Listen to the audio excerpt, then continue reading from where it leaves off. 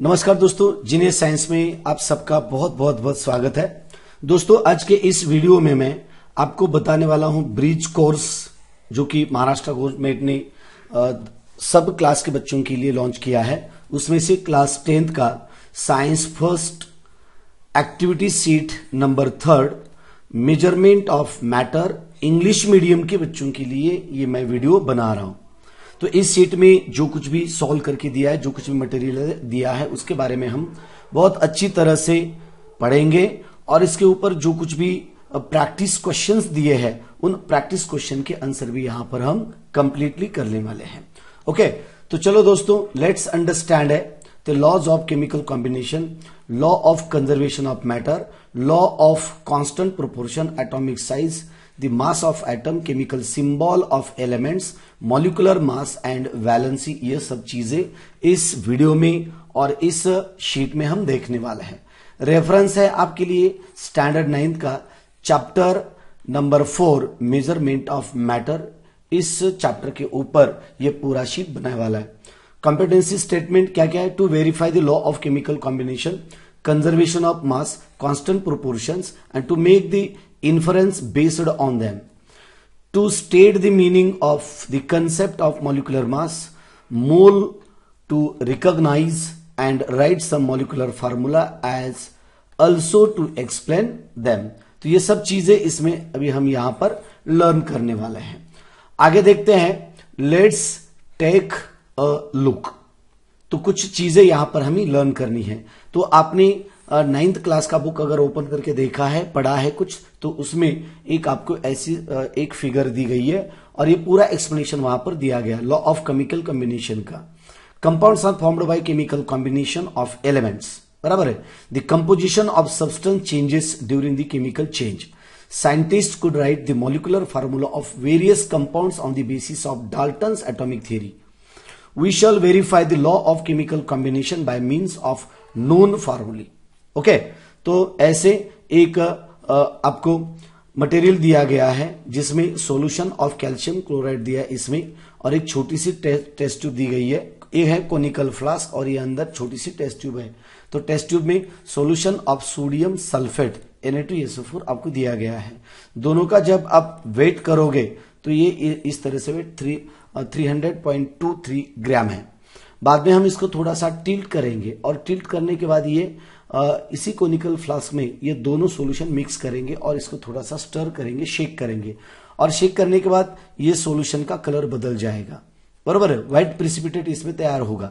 बाद में हम इसका वेट करेंगे तो वेट 300.23 ग्राम आएगा। ना कि वेट बढ़ेगा, ना वेट डिक्रीज होगा। ओके यानी कि वेट कांस्टेंट रहेगा। बिकॉज़ इसके ऊपर हमने ऐसा एक रबर कॉर्क भी बिठाया है। इसकी वजह से कोई मास बाहर नहीं जाएगा और बाहर का अंदर नहीं आएगा। जो कुछ भी वेट रहेगा वो कांस्टेंट सेकंड स्टेप में भी वही रहेगा।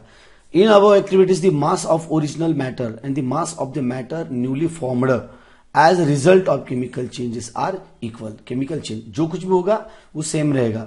इसमें इसके वज़न में कुछ भी फ़र्क नहीं रहेगा।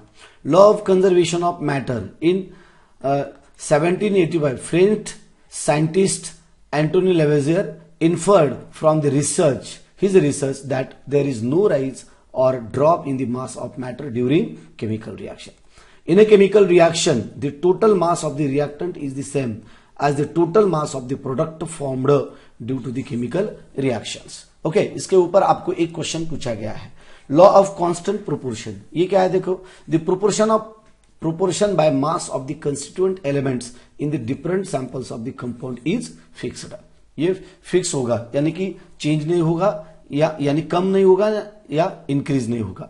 Atomic size this the size of an atom is determined by its radius उसके रेडियस के तौर पर इसको नापा जाता है. The size of atom is determined by its radius अगर रेडियस ज़्यादा है तो एटॉमिक साइज़ ज़्यादा होगी। और रेडियस अगर एटॉमिक रेडियस कम है तो size of atom is also कम रहेगी। बराबर है? Atomic radius of an isolated atom is the distance between nucleus of an atom and its outermost orbit the atomic radius is expressed in nanometer nanometer में express की जाती है atomic radius okay the mass of an atom the mass of an atom is concentrated in its nucleus and it is due to the proportion P and neutrons N in it. The total number of protons and neutrons in the atomic nucleus is called atomic mass number. बराबर है the unit और unit of atomic mass is Dalton यानी कि Dalton में इसको represent किया जाता है डाल्टन मतलब तो म्यू में इसको रिप्रेजेंट किया जाता है ठीक है अब सिक्स पॉइंट देखते हैं chemical symbols of element element the symbol of an element is either the first letter और first and second another specific letter in its name यानी कि सिंबल जैसे सोडियम है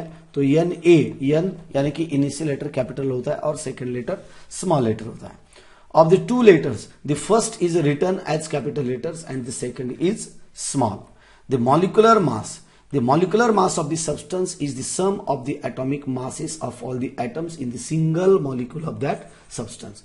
Like atomic mass, molecular mass is also expressed in unit Dalton. इसको भी Dalton में ही express किया जाता है वैलेंसी किसको कहते हैं देखो वैलेंसी बोले तो इलेक्ट्रॉन लेन देन की हर एक एटम की capacity the capacity of an element to combine is called its valency the number of electrons that an atom in an element gives away Takes up while forming an ionic bond. Is called as valency of that element यानी कि bond तैयार करते वक्त electron की जो कुछ भी लेन then कर कर दूसरे एलिमेंट के साथ जो कुछ भी बॉन्ड तैयार किया जाता है, उसको हम वैलेंसी कहते हैं। इलेक्ट्रॉन लेन देन की कैपेसिटी आगे देखते हैं कुछ लेट्स प्रैक्टिस प्रैक्टिस के लिए कुछ क्वेश्चंस दिए गए।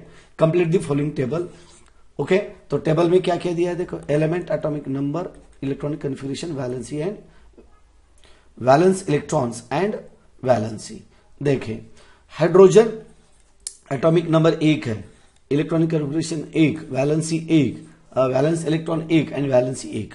हीलियम एटॉमिक नंबर दो इलेक्ट्रॉनिक कन्फिग्रेशन दो वैलेंस इलेक्ट्रॉन्स टू ओके और ज़ीरो उसी तरह से आगे का वैलेंसी इसकी ज़ीरो होती है। तो आगे का एक एक एक एक करके पॉइंट यहाँ पर हम देखेंगे। देखो हीलियम है, इसका एटॉमिक नंबर तीन है।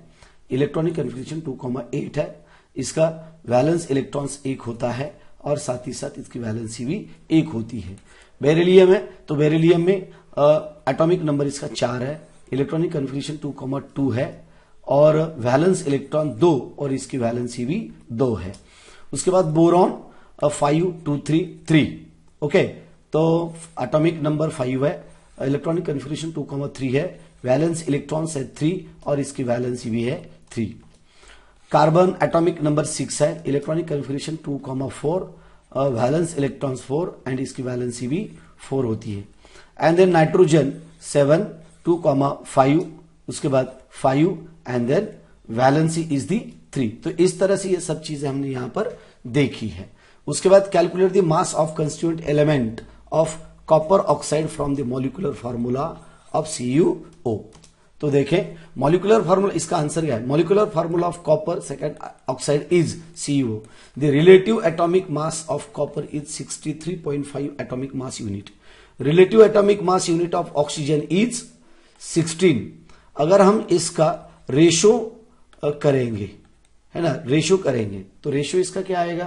तो इसका रेशो आएगा 63.55 डिवाइडेड बाय 16 तो सो चौक चौसठ, इसका मतलब फोर एच वन आएगा फोर एच वन इसका रेशियो आएगा। बराबर है? इस तरह से। आगे का है? Write down the cation and anions obtain from the compound in the following chart cation and anion okay sodium hydroxide है। इसके एन प्लस और ओ OH माइनस है। उसके बाद के potassium hydroxide K plus and O H minus C A O H taken twice है। तो सी ए two plus यानी कि दो ओ OH यहाँ से लिबरेट होने वाले हैं। ओके डिकम्पोजिशन करने के बाद two O H minus ions ये इस तरह से। उसके बाद H C L hydrochloric acid H plus ions chloride ions C L minus H B R H plus ions and bromide ions इसका ब्रोमाइड आयन होगा B R minus H N O three okay तो H plus ions and NO three minus ions तो इस तरह से anions and cations तैयार होते हैं इनके। अनाइंस एंड कैटाइंस है ना? ये बेस है और ये एसिड है। बेस का इस तरह से डिसोसिएशन करने के बाद इस तरह से आयंस कैटाइंस एंड अनाइंस बनेंगे। और एसिड का डिसोसिएशन करने के बाद इस तरह से अनाइंस एंड कैटाइंस बनेंगे।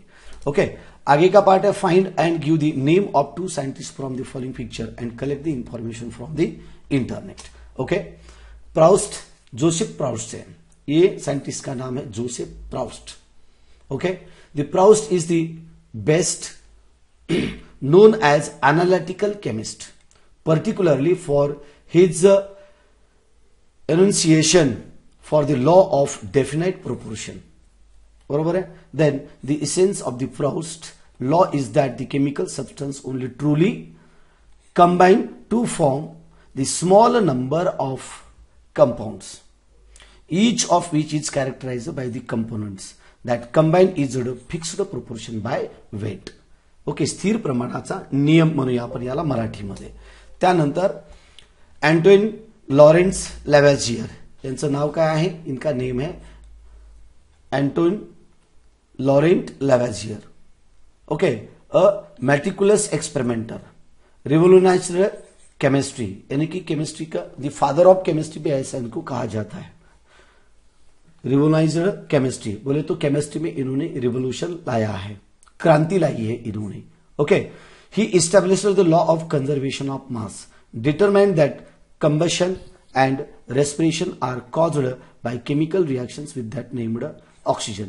He helped the systemized chemical nomenclature among many other accomplished. Lavoisier ने, यानी कि पानी में ऑक्सीजन एक अगर बेसिकली अगर हम कहा जाए तो पानी से H2O से हाइड्रोजन को और ऑक्सीजन को इन्होंने सेपरेट किया है। सेपरेट किया है, यानी कि पानी से इन्होंने ऑक्सीजन तैयार किया है। ओके ये भी एक इंपॉर्टेंट पार्ट इसमें आता है।